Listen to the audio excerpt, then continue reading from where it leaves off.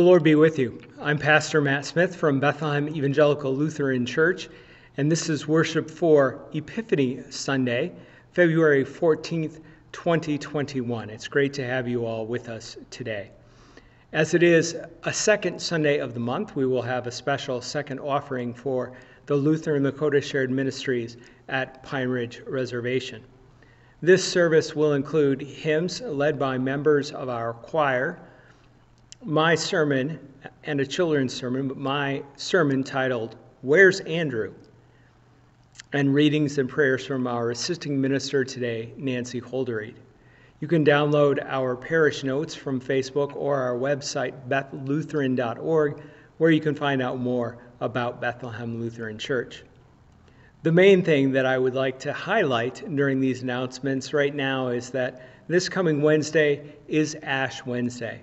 Yes, Lent is upon us, which means Easter and spring are just around the corner. But for Ash Wednesday, that service will take place at 7 o'clock, or excuse me, at 6.30, and it will include the imposition of ashes. And so we're asking that you would take a, a wooden kitchen match and burn it down past the sulfur top, burn it down to the wood, blow it out, and then let it cool and then when it comes time for the imposition of ashes, we ask that you, you rub that with your thumb and make the sign of the cross on your forehead or the forehead of your loved one and say the words, Remember you are dust, and to dust you shall return. We remember our mortality on Ash Wednesday, and remembering our mortality is a great time for us to start our Lenten theme for this year Lutheran Heroes. And so we'll start with the wisdom of knowing that we are dust, and to dust we will return. The Sundays after Epiphany began with Jesus' baptism and with three disciples today at his transfiguration. Baptism on one end, transfiguration on the other. In his baptism, only Jesus hears the voice from heaven saying, You are my beloved. But today, the three disciples, Simon, Peter, James, and John, they hear the declaration too that Jesus Christ is the Son of the living God, and with him, God is well pleased. Well, St. Paul writes, We are enabled to see the God light in Jesus' face because the same God who created light in the first place has shone in our hearts to give us that vision, the light of glory, of God's glory found in Jesus Christ. In Christ, we are enlightened in our baptism into his death and resurrection, and we shine for all to see. In solidarity with those who will not be receiving the Eucharist today, we will refrain as well as we anticipate the feast that is to come. Instead, we will feast on the words of Jesus, and it is enough. Now, please join us, if you will, for our confession and forgiveness.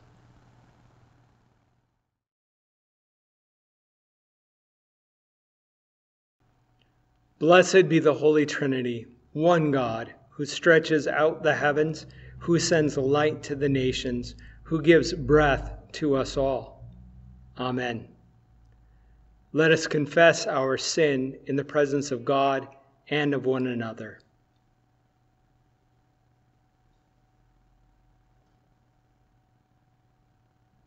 Loving God, we confess that we have turned from your way to follow our own ways. Forgive us for the times we have spoken or acted too quickly. We have not spoken or acted at all. We have hurt those closest to us. We have hurt those we have yet to know. We have thought more about ourselves than others. We have thought less of ourselves than we ought. Turn us around and give us a fresh start so that we can live again as your children. Amen. Even when we have done wrong, God makes us right. Even when we have messed up, God puts us together. God's love never runs out. God never tires of calling us beloved children. Hear God say to you now, Your sins are forgiven for the sake of Jesus Christ our Savior. Amen. And we sing, Shine, Jesus, shine.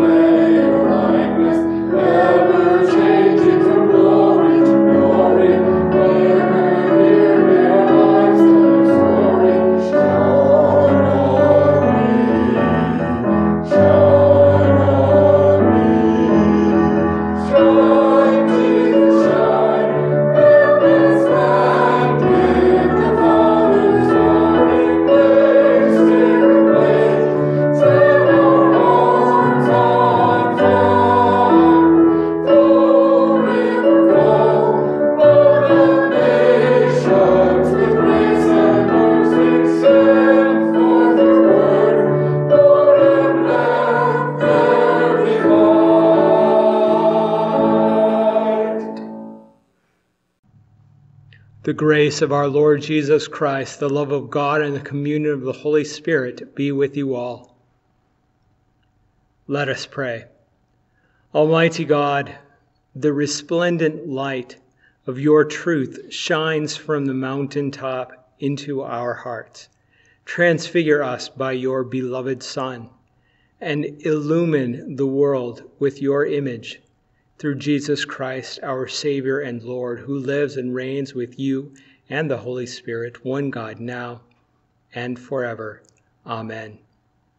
Now we invite children worshiping with us to come focus on their screens for our worship talk for children.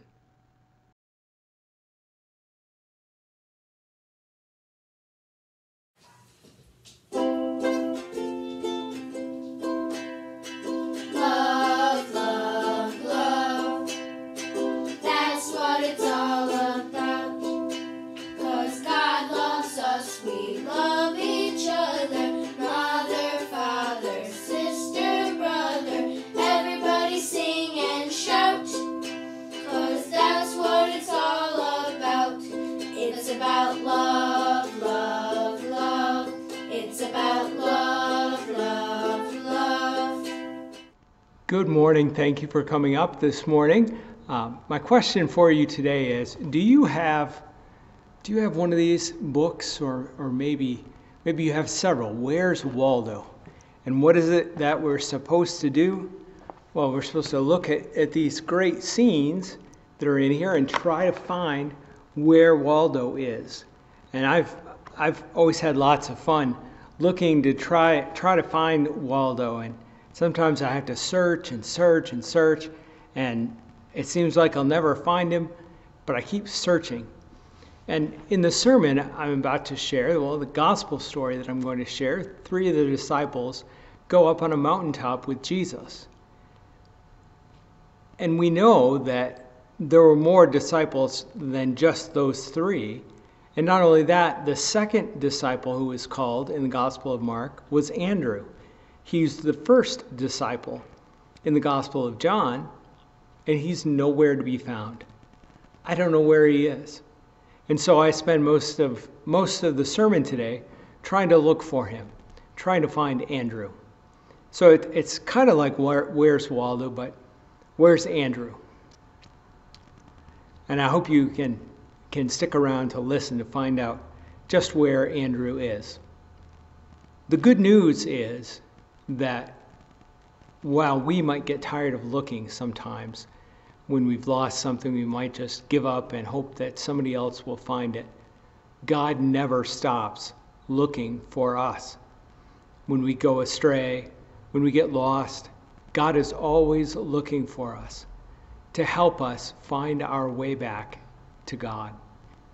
Let's pray. Dear God, Thank you for being with us and always looking for us. When you wonder where we are, help us come to you quickly. In Jesus' name, amen. Well, thank you for coming to, to pay attention this morning and, and uh, I'll keep this Where Where's Waldo book in my office so that when we see each other again, you can you can check it out and maybe try to help me find where Waldo is. We'll see you soon. Our first reading this morning is from Psalm 50. Out of Zion, perfect in beauty, God shines forth in glory. A reading from Psalms. The Mighty One, God the Lord, has spoken, calling the earth from the rising of the sun to its setting. Out of Zion, perfect in its beauty, God shines forth in glory. Our God will come and will not keep silence, with a consuming flame before and round about a raging storm. God calls the heavens and the earth from above to witness the judgment of the people. Gather before me, my loyal followers, those who have made a covenant with me and sealed it with sacrifice. The heavens declare the rightness of God's cause, for it is God who is judge. Word of God, word of life. Thanks be to God. Our second reading for today is from 2 Corinthians. God has shown light in our hearts so that we may see the face of Jesus Christ. The truth is not veiled to us. Paul writes, Even if our gospel is veiled, it is veiled to those who are perishing. In their case, the God of this world has blinded the minds of the unbelievers to keep them from seeing the light of the gospel of the glory of Christ, who is the image of God. For we do not proclaim ourselves, we proclaim Jesus Christ as Lord, and ourselves as your slaves for Jesus' sake. For it is the God who said, Let light shine out of darkness who has shone in our hearts to give the light of the knowledge of the glory of God in the face of Jesus Christ. Word of God, word of life. Thanks be to God.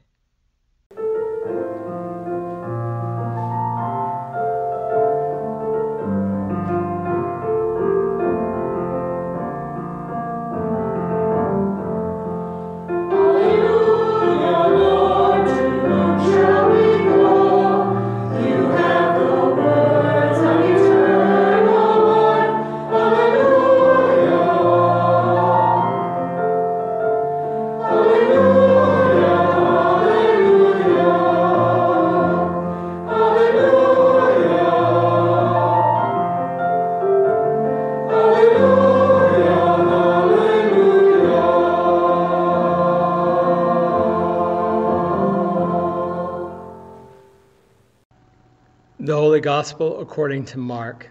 Glory to you, O Lord. Six days later, Jesus took with him Peter and James and John and led them up a high mountain apart by themselves. And he was transfigured before them, and his disciple and his clothes became dazzling white, such as no one on earth could bleach them. And there appeared to them Elijah with Moses, who were there talking with Jesus. Then Peter said to Jesus, Rabbi, it is good for us to be here. Let us make three dwellings one for you, one for Moses, and one for Elijah. He did not know what to say, for they were terrified. And then a cloud overshadowed them, and from the cloud there came a voice This is my Son, the beloved Listen to him. Suddenly, when they looked around, they saw no one with them anymore, but only Jesus. As they were coming down the mountain, he ordered them to tell no one about what they had seen until after the Son of Man had risen from the dead. The Gospel of the Lord. Praise to you, O Christ. I bring you grace, peace, and love in the name of the Father, and of the Son, and of the Holy Spirit. What a sight to behold as Jesus is transfigured before the disciples, in front of Peter, James, and John, into this dazzling white vision. It must have been quite a sight to see. It was a literal mountaintop experience as these three disciples got to see and understand a little bit more about who Jesus was. And that is really where I wanted to focus today in this message on that mountaintop experience because we all look forward to those times of having the mountaintop experience. But maybe it has something to do with how close we are paying attention in the Gospel of Mark as we read through it with Pastor John's guidance. And that close attention, paying such close attention to it, makes me wonder what happened to Andrew? Andrew is the second disciple called in the Gospel of Mark. You have Simon Peter, Andrew, and then James and John. What happened to Andrew? How come he wasn't invited to go up on the mountain for Jesus' transfiguration? I've been really focused on the narrative, the story of the Gospel of Mark. So this week, I was hoping to hear a little bit more about Andrew after the healing of Simon's mother in law, hoping to hear more about all of the disciples. So far, we've heard him call just four Simon Peter, Andrew, James, and John. But later in the gospel, we will hear of the call of the other eight. Maybe not the full story for all of them, but we'll hear them named. And in the gospel so far, you know, we've heard these four being called. And as we skip ahead to the glowing transfiguration of Jesus, a lot has happened from the call of those first disciples until he is transfigured before Peter, James, and John. We have the story of him calling Matthew, the tax collector, Levi, and all the other disciples are named. But what happened to Andrew? Why wasn't he included? Why didn't Jesus take him up on the mountain along with Simon Peter, James, and John? In chapter 2 of Mark, that's where we hear of Matthew the tax collector being called.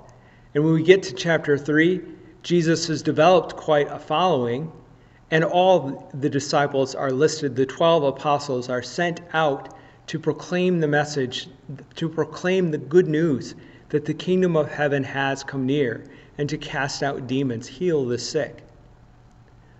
No reason is given in the Gospel of Mark as to why Andrew seems to have disappeared and why he was not invited to go up the mountain with Peter, James, and John. And I wondered, maybe he wasn't included in that simply because the number three is an important number. It's an important number in our faith with three persons of the Trinity Father, Son, and Holy Spirit. And three is important from a literary standpoint it makes more sense that Jesus would have taken three companions rather than four. But why did Andrew get left out? Looking at the other Gospels, there is nothing in Matthew. Andrew is mentioned when he is called along with Simon Peter, and then Andrew is mentioned again with the list of the 12, the 12 apostles. And those are the only references to Andrew. In the Gospel of Mark, when the 12 are listed, Andrew is mentioned fourth, but he was called second, yet he's mentioned fourth. And this order, it's not the order in which they were called. In Matthew, it is the same thing. Why, why did Andrew get bumped? Andrew is only mentioned once in the Gospel of Luke in second place, right after Peter. In the Gospel of John, however, Andrew was originally one of John the Baptist's followers and became one of the first to follow Jesus on his mission. But I don't see how being a follower of John the Baptist would somehow disqualify Andrew from following so closely and being called up the mountain. Andrew is the first one to follow Jesus. He goes and gets his brother. Later in the Gospel of John, Andrew plays a prominent role in the feeding of the 5,000.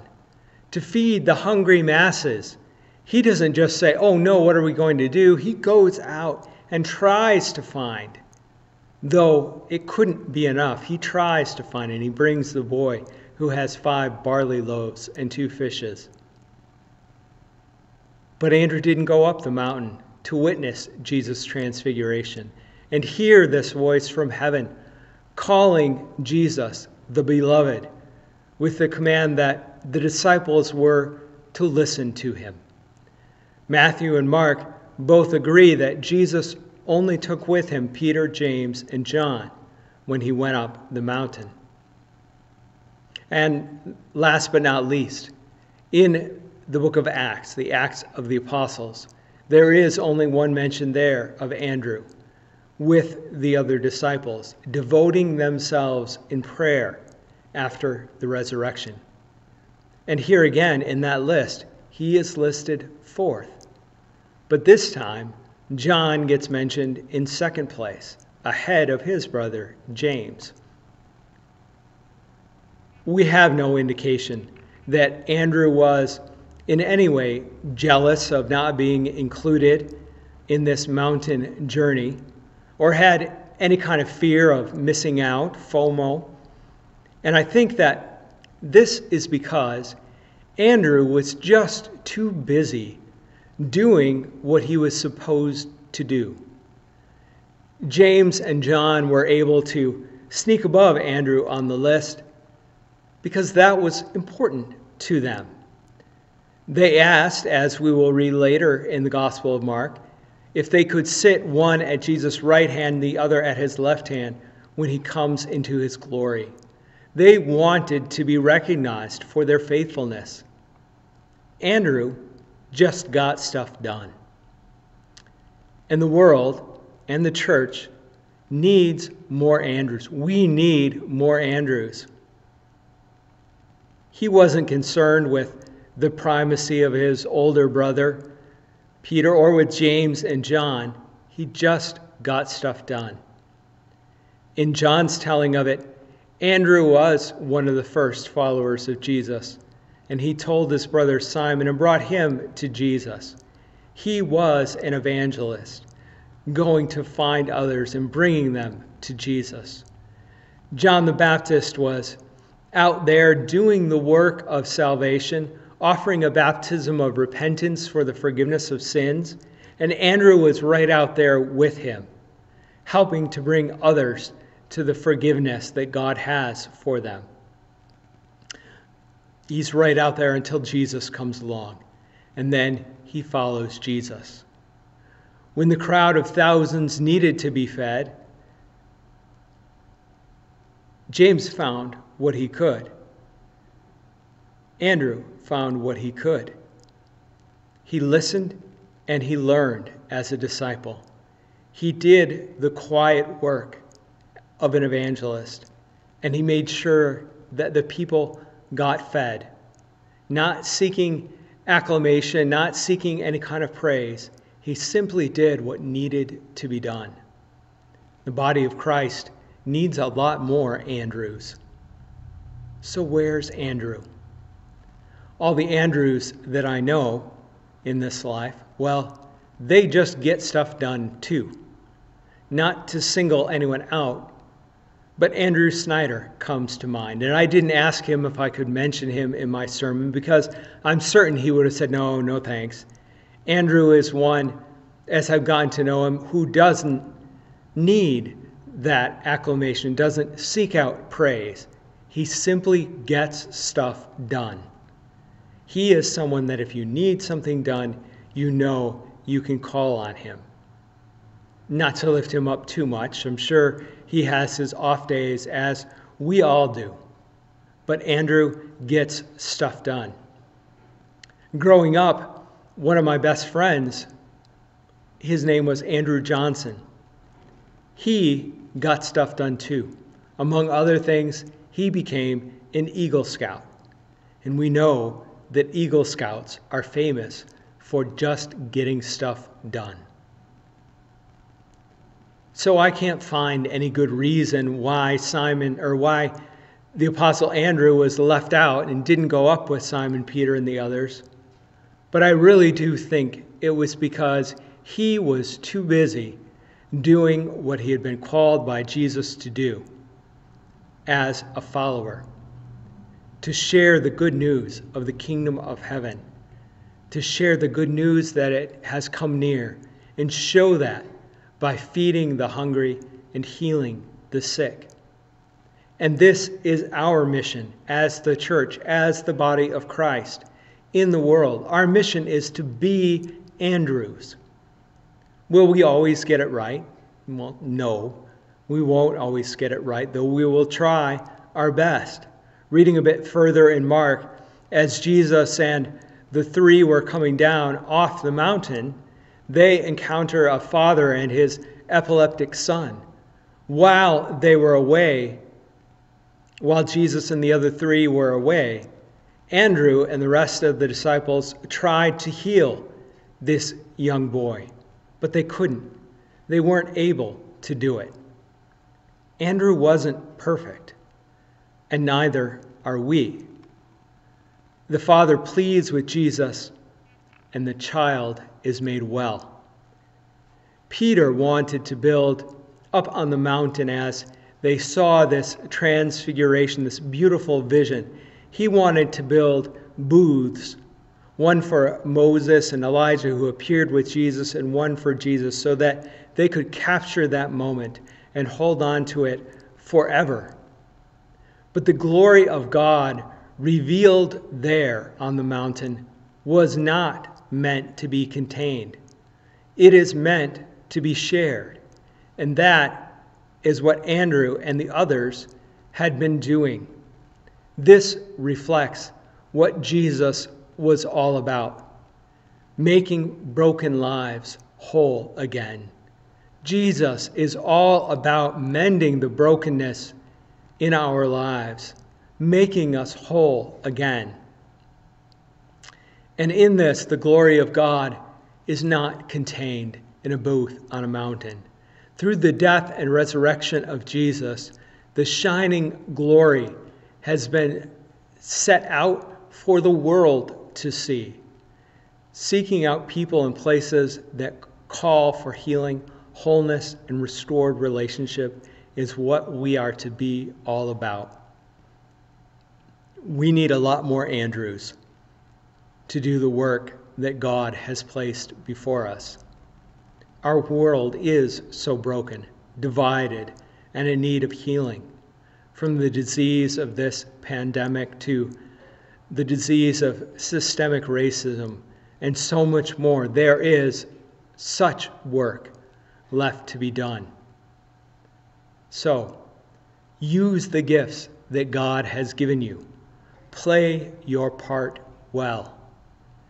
And where we fall short, the good news is that when we fall short, Jesus will come down and take care of the rest. Amen. What gifts have you been given? How is God empowering you to serve? As you reflect on these questions and the message that I've just shared, we sing, Beautiful Savior.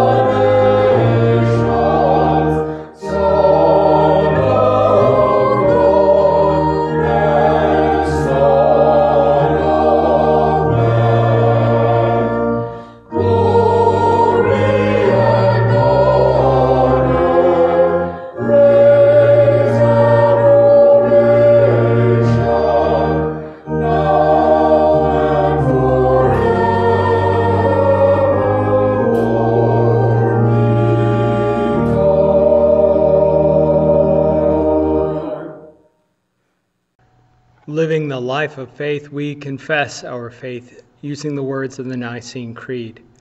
We believe in one God, the Father, the Almighty, maker of heaven and earth, of all that is seen and unseen. We believe in one Lord Jesus Christ, the only Son of God, eternally begotten of the Father, God from God, light from light, true God from true God, begotten, not made, of one being with the Father. Through him all things were made for us and for our salvation, he came down from heaven, was incarnate of the Holy Spirit and the Virgin Mary, and became truly human. For our sake he was crucified under Pontius Pilate. He suffered death and was buried. On the third day he rose again, in accordance with the Scriptures. He ascended into heaven and is seated at the right hand of the Father. He will come again in glory to judge the living and the dead, and his kingdom will have no end.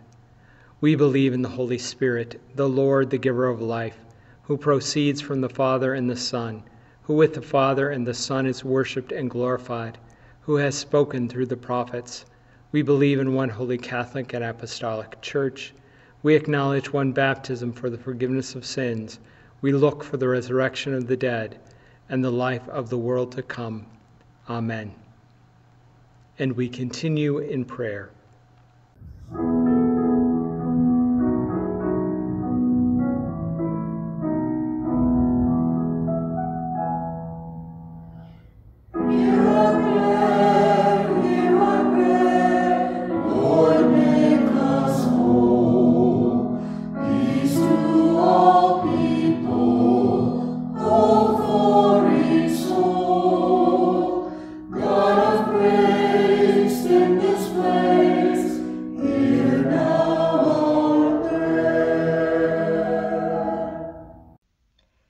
Guided by Christ, made known to the nations, let us offer our prayers for the Church, the world, and all people in need.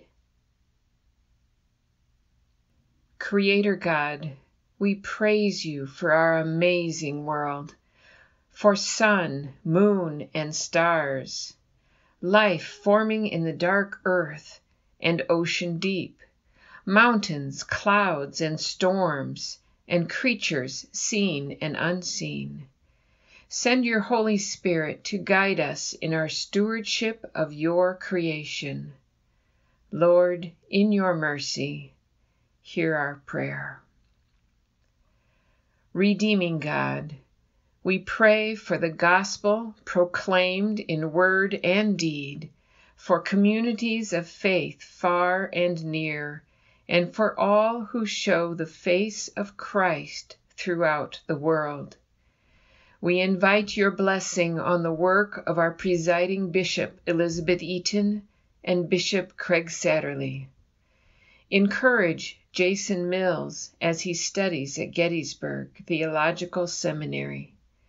Strengthen the faith, Lord, of the members of St. John's Lutheran Church in Baroda, Michigan, as well as the faith of their pastor, Reverend Jim Morgan.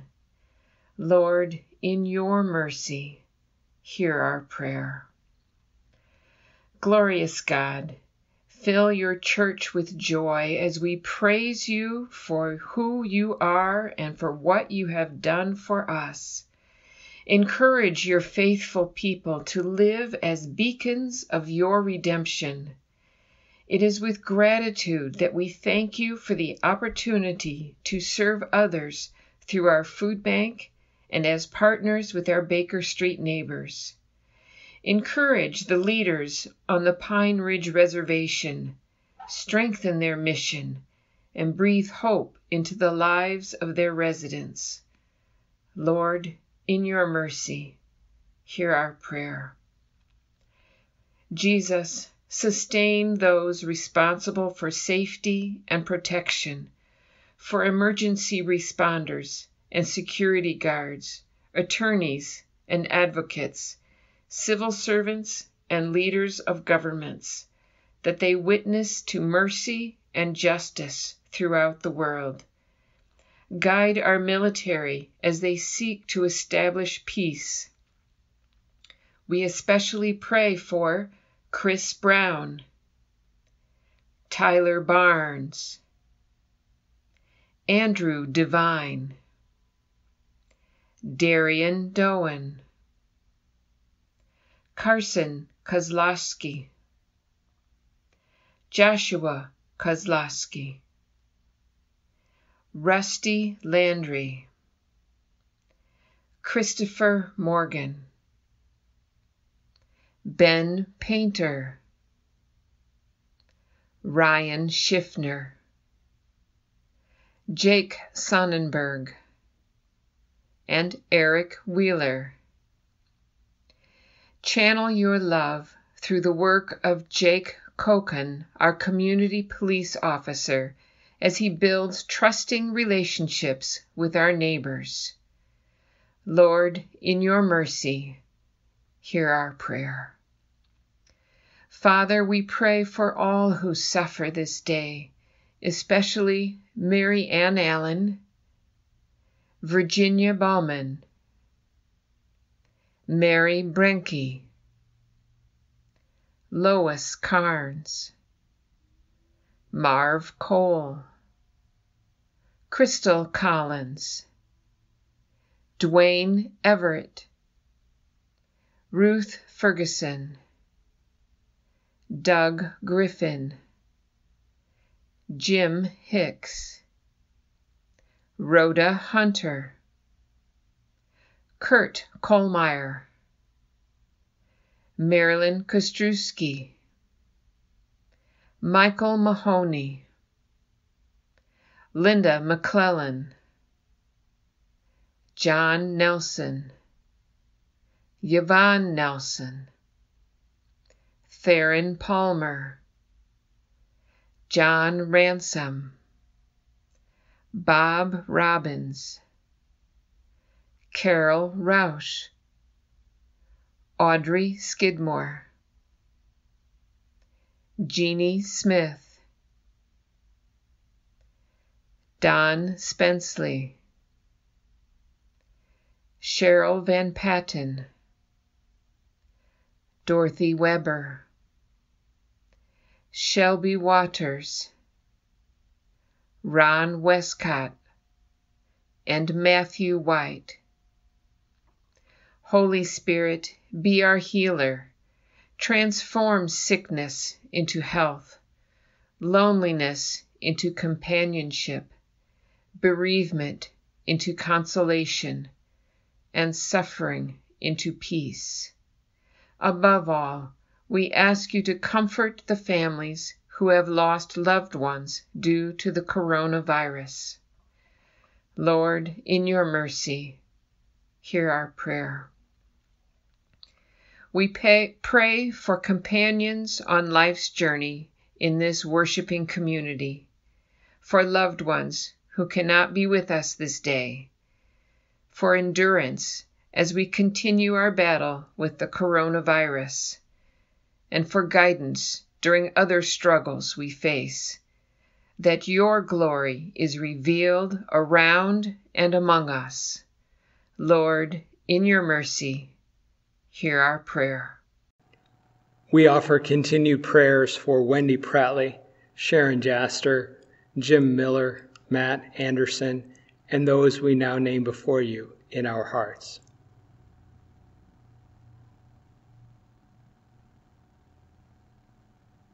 Lord, in your mercy, hear our prayer.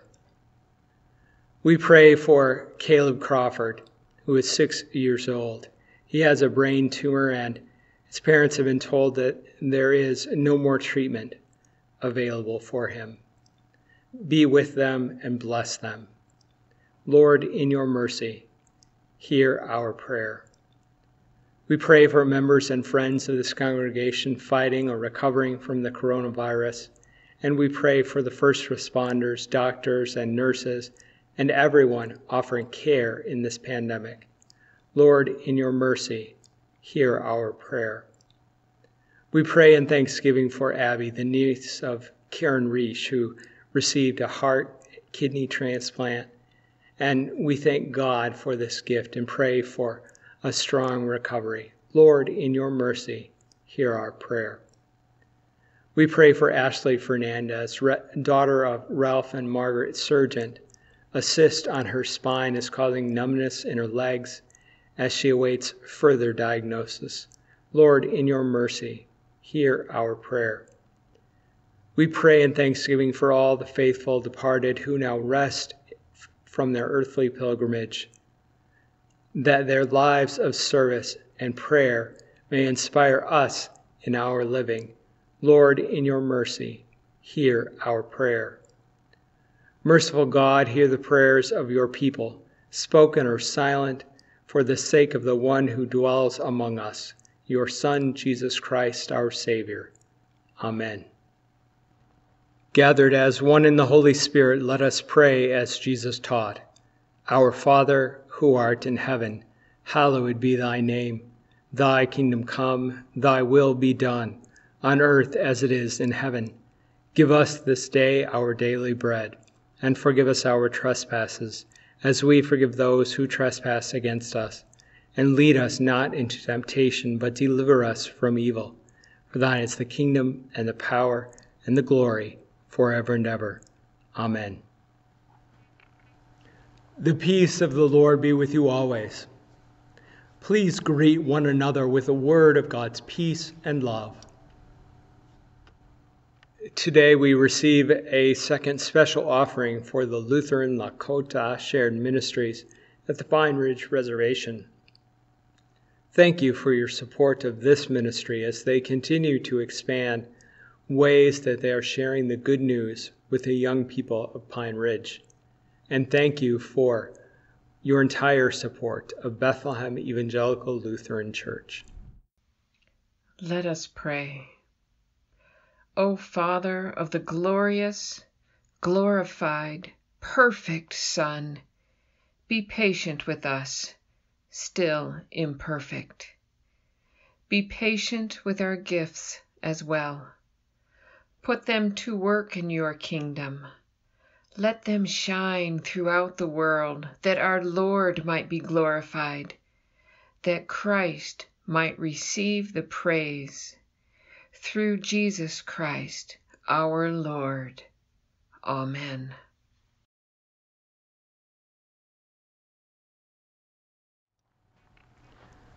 The Lord bless you and keep you. The Lord's face shine upon you with grace and mercy.